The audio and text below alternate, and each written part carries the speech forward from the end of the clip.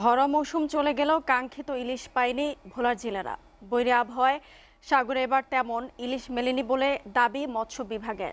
ফলে লোকসান গুনতে হচ্ছে জেলেদের। তবে শীতে লোকসান কাটিয়ে ওঠার আশা জেলে ও ব্যবসায়ীদের। ভোলা থেকে মোহাম্মদ বিল্লাল হোসেনের প্রতিবেদন। দু হাজার চব্বিশ পঁচিশ অর্থ বছরে সারা দেশে ইলিশ আহরণের লক্ষ্যমাত্রা পাঁচ লাখ সত্তর হাজার মেট্রিক টন, আর ভোলা জেলার লক্ষ্যমাত্রা এক লাখ পঁচাশি হাজার মেট্রিক টন। সেই হিসেবে দেশে আহরিত ইলিশের তিন ভাগের এক ভাগ সরবরাহের কথা দ্বীপ জেলা ভোলা থেকে। কিন্তু জুলাই, আগস্ট, সেপ্টেম্বর এই তিন মাস ইলিশের ভরা মৌসুম থাকা সত্ত্বেও ভোলা থেকে পাওয়া গেছে মাত্র সাতষট্টি হাজার মেট্রিক টন।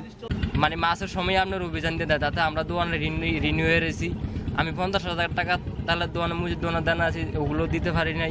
এই চাউলটা সঠিক অভিযানের ভিতরে জেলেদের মাঝে বিতরণ করার জন্য আমরা বারবার দাবি করতেছি। সরকার ব্যানার দেয় রিপ্লেট দেয় সব কিছু দেয়। কিন্তু চাউলটা আরও পনেরো দিন আগে চাউলটা দেওয়া দিলে আমরা সবাই খাইতাম। এদিকে অক্টোবর মার্চ এপ্রিল তিন মাস মাছ শিকার বন্ধ। নভেম্বর থেকে ফেব্রুয়ারি চার মাস শীত হলেও ইলিশের কিছুটা দেখা মেলে। কিন্তু তাতে লক্ষ্যমাত্রা পূরণ হবে কিনা তা নিয়ে অনিশ্চয়তায় জেলেরা। অভিযান দিলে ধরেন আমরা চাইল ভাত জাইলারা তেরম একটা পাই না। ওজন দিছে ঠিক মতনই আমরা পালন করি। কিন্তু পালন যে করি কিন্তু মনে করেন যে আমরা তো চলতারি না। মৎস্য বিভাগের দাবি, বেশিরভাগ জেলেই সাগরে ইলিশ শিকারে যেতে পারেনি। এতে ইলিশ সংগ্রহ কম হওয়ায় ইলিশের দাম কিছুটা চড়া।